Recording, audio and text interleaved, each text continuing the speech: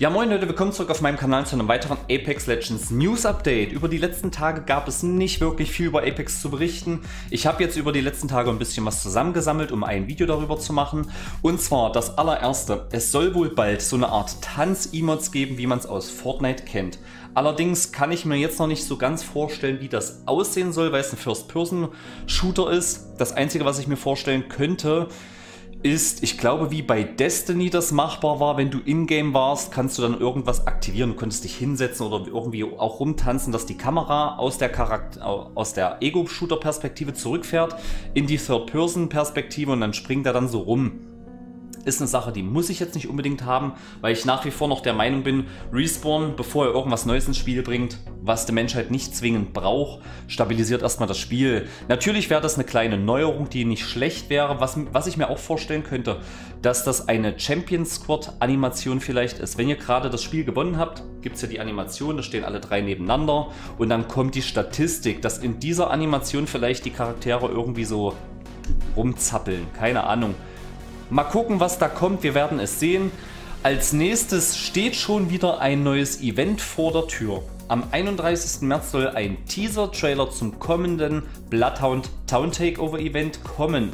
Ähm, ist eine feste Änderung wieder auf der Map. Wer mit dem Town Takeover Event Begriff nichts anfangen kann, wie der Octane Ring of Fire aus Season 1 oder das Labor von Wraith in Season 2, aktuell nicht aktuell Season 3, sondern World's Edge aktuell das Raumschiff von Mirage, das Mirage Voyage Schiff, also quasi eine feste Änderung auf der Map mit einer Legende im Mittelpunkt, diesmal halt Bloodhound. Meine Kreativität reicht gerade überhaupt nicht so weit, mir vorstellen zu können, was da kommen könnte.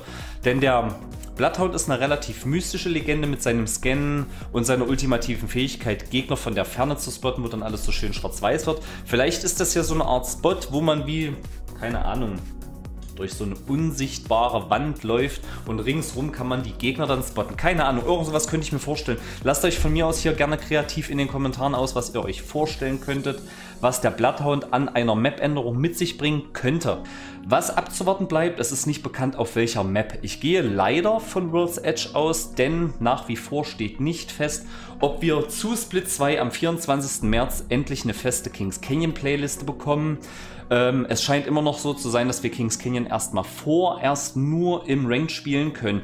Vielleicht werden wir ja ähm, überrascht, denn am 24. März läutet quasi der Split 2 die Hälfte von Season 4 ein. Und Vielleicht könnte man das ja so sehen wie einen neuen Start einer Season, dass irgendwas Fettes, Großes kommt.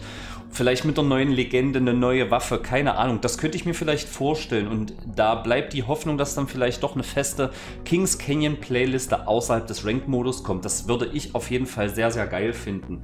Was haben wir noch? Ähm, dann kann es sein, dass vor Split 2 am 24. März, drei Tage vorher, es nochmal ein kleines dreitägiges Kings Canyon Event kommen könnte. Was da inhaltlich drin sein soll, kann ich leider natürlich auch nicht sagen. Das ist jetzt alles das, was ich nur gehört habe. Und ihr kennt ja diese schönen Editionen hier ähm, von Lifeline und von Bloodhound gibt es jetzt auch von Octane aktuell immer noch nicht in der CD-Version, immer noch nur ähm, runterzuladen.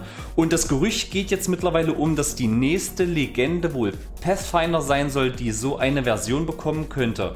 Finde ich sehr, sehr interessant. Natürlich auch da nicht bekannt, was inhaltlich da dazu kommen könnte. Das soll es inhaltlich schon wieder gewesen sein. Natürlich möchte ich wie immer betonen, dass das Leaks sind, die so kommen können, nicht müssen. Ich bin aber fest Überzeugung, dass genau das passieren wird. Lasst mich in den Kommentaren natürlich gerne wissen, was ihr von den zukünftigen eventuellen Änderungen haltet, was ihr euch vielleicht von Split 2 erwartet, würde mich sehr interessieren.